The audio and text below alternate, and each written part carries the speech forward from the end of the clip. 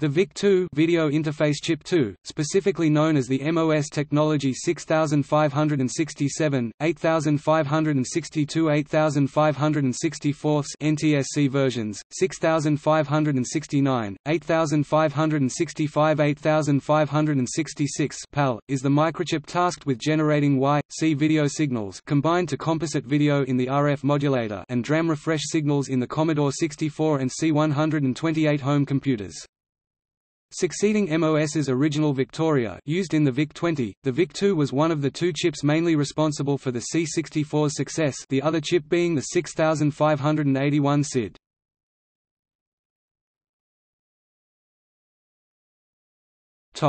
Development history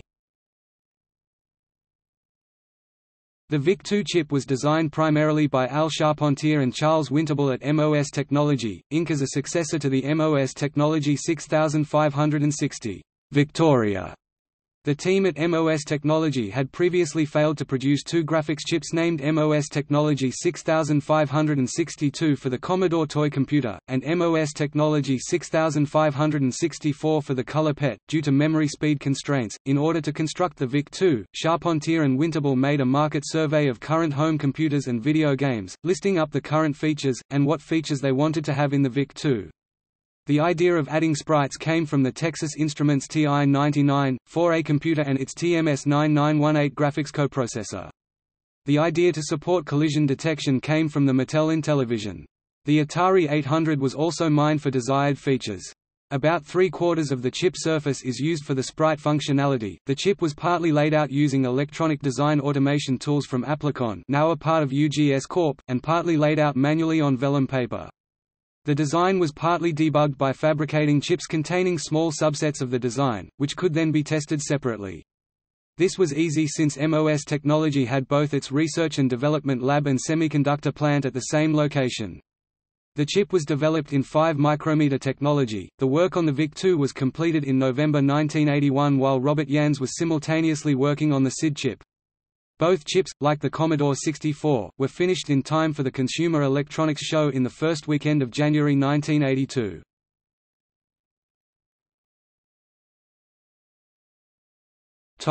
VIC-2 features. 16 kilobytes address space for screen, character and sprite memory. 320 x 200 pixels video resolution 160 x 200 in multi-color mode 40 x 25 characters text resolution 3 character display modes and 2 bitmap modes 16 colors Concurrent handling of 8 sprites per scanline, each of 24 x 21 pixels 12 x 21 multicolor. Raster interrupt see details, below. Smooth scrolling. Independent dynamic RAM refresh Bus mastering for a 6502 style system bus, CPU and VIC-2 accessing the bus during alternating half-clock cycles the VIC-2 will halt the CPU when it needs extra cycles.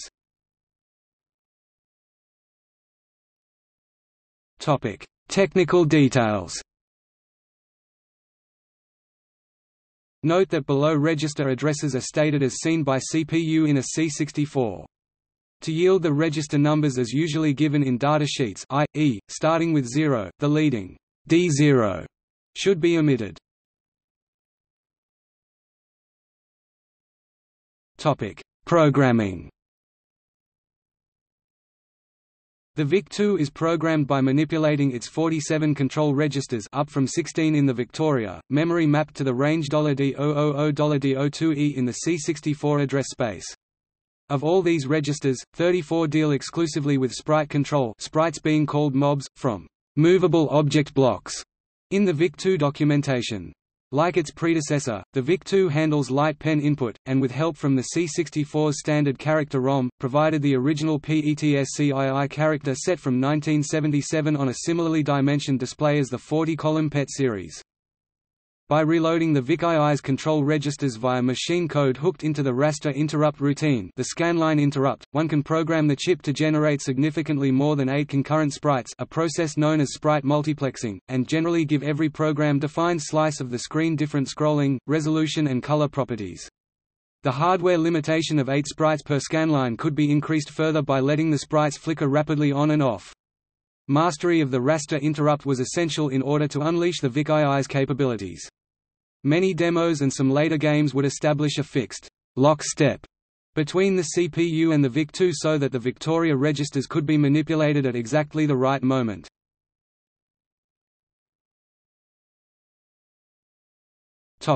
Character graphics The C64 shipped with the PETSCII character set in a 2K ROM, but, like the VIC-20 before it, the actual data for the characters was read from memory at a specified location. This location was one of the VIC-2 registers, which allowed programmers to construct their own characters sets by placing the appropriate data in memory. Each character was an 8x8 grid, a byte represented 8 bits horizontally, so 8 bytes were required for a single character and thus the complete 256 character set used a total of 2048 bytes. There was no limit to how many such sets could be constructed, although they had to be aligned on a 2K boundary within the 16K video bank. In addition to charsets, the VIC-2 also uses 1000 bytes to store the 25 lines of 40 characters per line, 1 byte for each character. The remaining 24 bytes of a 1K block was used for sprite pointers. The screen memory defaulted to $400 to 7 times 10 to the $7 being the default on the 64 and 128. Color RAM is accessed as bits 8 to 11 of the video matrix. In the 64 and 128, it is located in I/O space at $D800 DBFF and cannot be moved from that location. It contains the values for color 1, color 3 in multicolor mode of each character. The character ROM is mapped into two of the VIC-II's four windows at $1,000 to $1 FFF and $9,000 to $9 FFF, although the CPU cannot see it there the character ROM may be switched into $D000 DFFF where it is visible to the CPU, but not the VIC-2. Thus graphics data or video buffers cannot be placed at $1,000 to $1 FFF or $9,000 to $9 FFF because the VIC-2 will see the character ROM there instead. Because these areas of RAM could not be used by the VIC-2 graphics chip, they were frequently used for music, sound effects the SID chip. The C64 has the ability to have RAM and ROM at the same address in memory but the CPU would see one and the VIC-2 chip would see the other. In default high-resolution character mode, the foreground of each character may be set individually in the color RAM. In multicolor character mode, color 3 is limited to the first eight possible color values, the fourth bit is then used as a flag indicating if this character is to be displayed in high resolution or multicolor, thus making it possible to mix both types on one screen. Colors 1 and 2 are set by the registers at $D022 and $D023 and are global for all characters. If extended background color mode is used, the upper two bits of the character code are used to select one of four background color registers. This allows four different background colors on the screen, but at the expense of only allowing 64 different characters instead of 256. Because this is fairly limiting, games seldom used it. Topic: Bitmap mode Adding an all-points addressable bitmap mode was one of the Commodore design team's primary goals, as the VIC-I lacked such a feature. However, in order to use as little additional circuitry as possible, they organized it in the same manner as character mode, i.e. 8x8 and 4x8 tiles. Bitmap graphics require an 8K page for the pixel data and each byte corresponds to one row of 8 or 4 pixels. The next byte is the row underneath it and after the eighth row, returning to the top of the next tile. In high-res bitmaps, screen RAM is used to hold the foreground and background colors of each tile high and low nibble of each byte. This is the only VIC-2 mode that does not make any use of the color RAM at $D800 or the background color register at $D021. Multicolor bitmap mode allows three colors per tile the fourth is the background color as set in $D021. Colors 1 and 2 are selected by the bits in screen RAM same as hi-res bitmaps and the third is from color RAM. Despite the high level of color detail and all points addressable capabilities of bitmap mode, it is generally impractical for in-game graphics due to requiring a high amount of system resources 8K for the pixel data plus considerable more CPU cycles to modify each tile and normally cannot be scrolled. Thus, it is normally only seen on loader and sometimes title screens. Dig Dug and Donkey Kong are two of the more notable examples of C64 games which utilize bitmap graphics.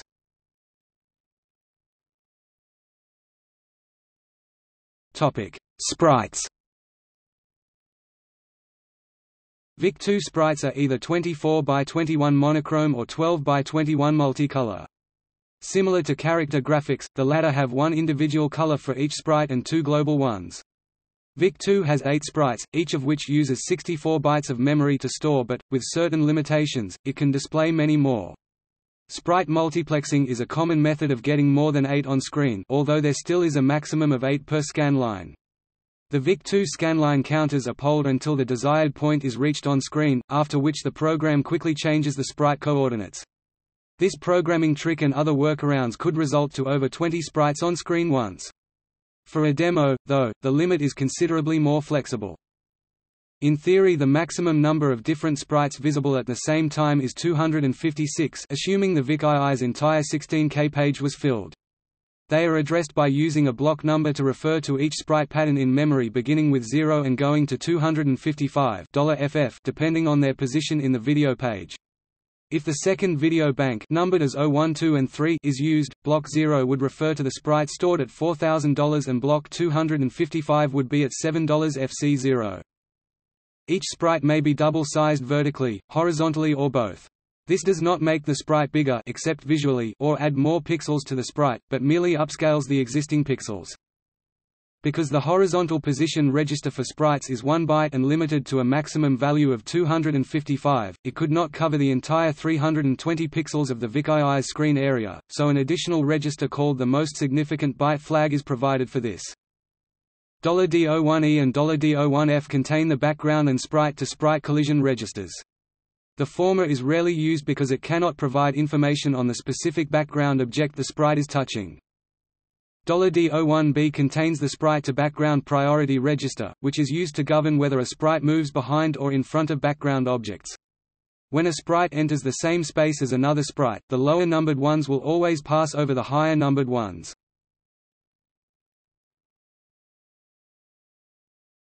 Topic: Scrolling In order to scroll a character screen, the VIC-2 is set to 38-column and or 24-line mode via the registers at $D011 and $D016. This creates an off-screen buffer where the row of characters to be scrolled is placed. By adjusting the scroll bits in the above-mentioned registers, one row may be moved on-screen after which it repeats unless a new row is put in the buffer. Color RAM is scrolled simultaneous with screen RAM and works the same way. VIC-2 scrolling is a relatively complicated, CPU-intensive task, although it was not uncommon for C64 game programmers to cheat by designing graphics so that the color RAM can remain static. Another standard trick is to cover the bottom or top 25% of the screen with a score counter to reduce the amount of scrolling that has to be performed. Finally, it is usually necessary to use an extra 1K piece of RAM to write character data to and then blit it into the screen RAM to prevent screen tearing, although this cannot be done with color RAM.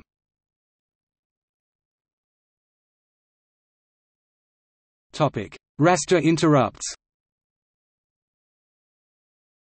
Utilization of raster interrupts is an essential part of C64 game programming. In the computer's power-on default state, the first CIA chip generates an interrupt 60 times per second which sends the CPU to the kernel IRQ handler at $EA31. This acknowledges the CIA interrupt, updates the clock, scans the keyboard, and blinks the cursor in BASIC. Games normally disable this and instead set up the VIC-2 to generate interrupts when a specific scanline is reached, which is necessary for split-screen scrolling and playing music. The game remaps the IRQ vector at $0314, $0315 to its raster handler which performs these functions and then optionally executes a JMP $EA31 instruction to return control to the kernel. Some games use only one IRQ, however, nested ones are more common and improve program stability. In this setup, the IRQ is remapped to the second routine and so forth for each one until the last one restores it to the address of the first IRQ. When nested IRQs are used, only one JMP $EA31 instruction is needed in the chain and the others can be ended with JMP $EA81, which simply goes to the end of the kernel handler. The VIC-2 may also generate a raster interrupt from the collision registers, but this feature is rarely used.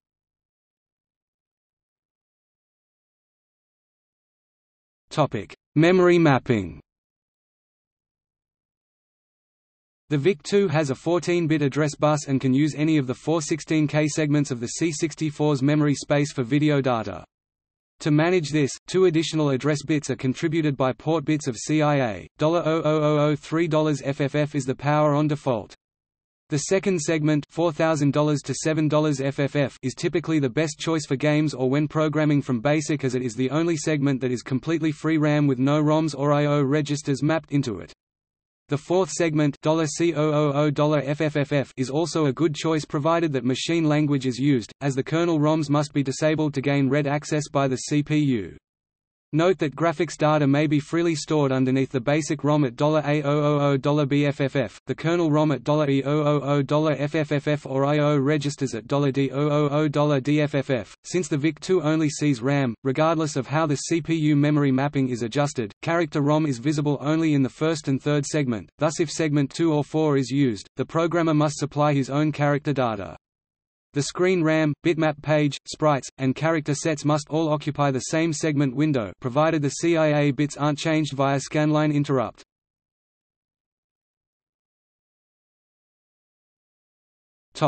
Registers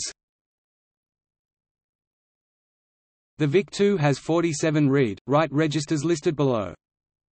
Topic colors In multicolor character mode 160 times 200 pixels, which most games used characters had 4 times 8 pixels the characters were still approximately square since the pixels were double width and 4 colors out of 16 colors.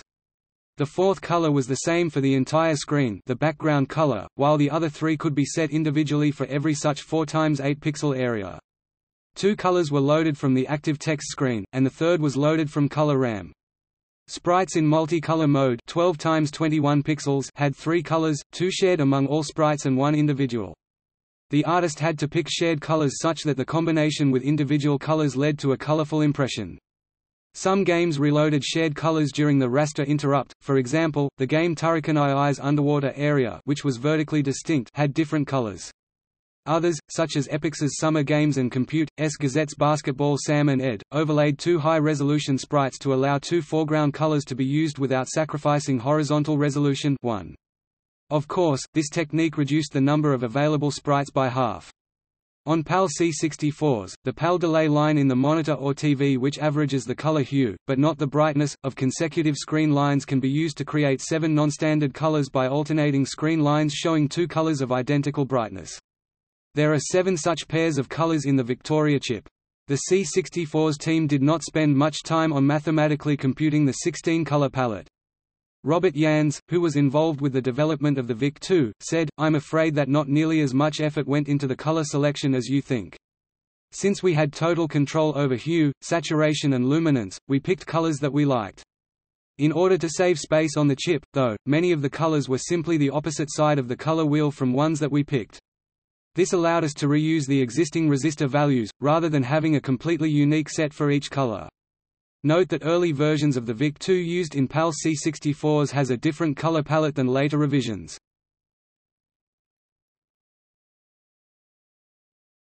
The VIC-E The 8564–8566 VIC-E in the Commodore 128 used 48 pins rather than 40, as it produced more signals, among them the clock for the additional Zilog Z80 CPU of that computer. It also had two extra registers. One of the additional registers was for accessing the added numerical keypad and other extra keys of that computer. This function was added to the Victoria merely because that proved to be the easiest place in the computer to add the necessary three extra output pins.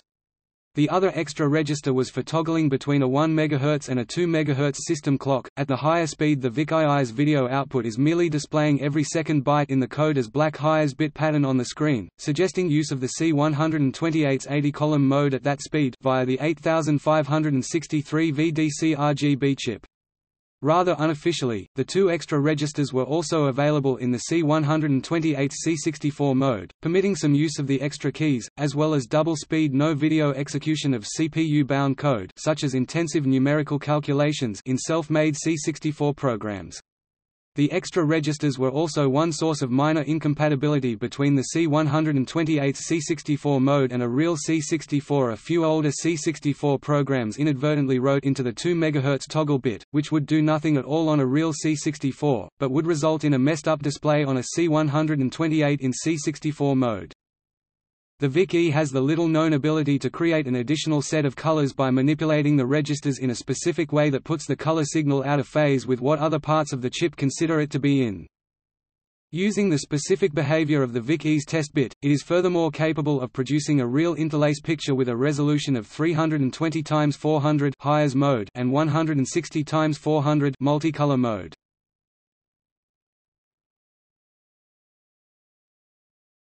Topic: List of VIC-2 versions. Commodore made many modifications to the VIC-2 during its lifetime. Compute, S Gazette's first issue, in July 1983, reported that there had already been eight since the Commodore 64's release in mid-1982.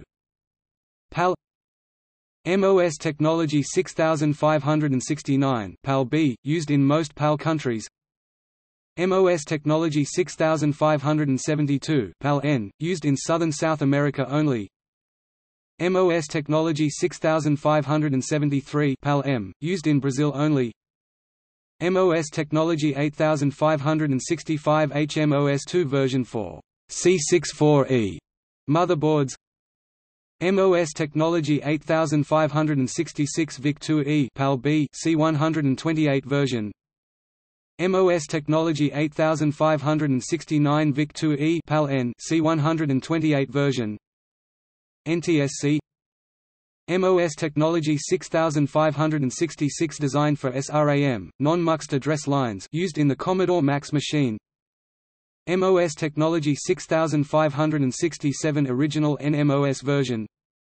MOS Technology 8562 HMOS2 version MOS Technology 8564 VIC2 EC128 version notes in all C64 models VIC-2 is socketed for easy replacement, but it is important to notice that 6569, 6572, 6573, 6566 and 6567 use 12 volts and 5 volts when 8565 and 8562 use only 5 volts.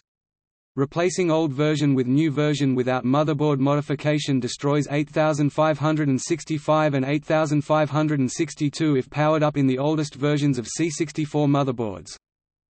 Several revisions of 6569 exist, 6569R1 usually gold-plated, 6569R3, 6569R4 and 6569R5. The most common version of 8565 is 8565R2.